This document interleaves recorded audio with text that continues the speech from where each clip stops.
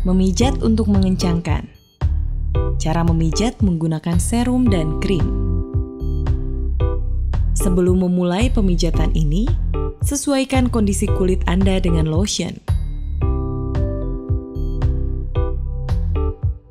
Tuangkan serum atau krim ke telapak tangan Anda.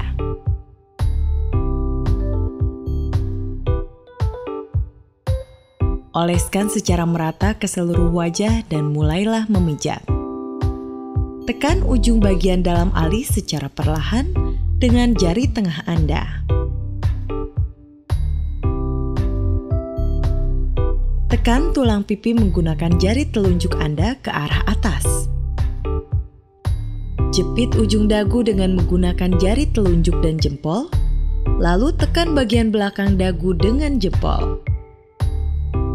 Gerakan tangan Anda menuju telinga sambil jempol tetap menekan kulit dari arah dagu sampai ke belakang telinga.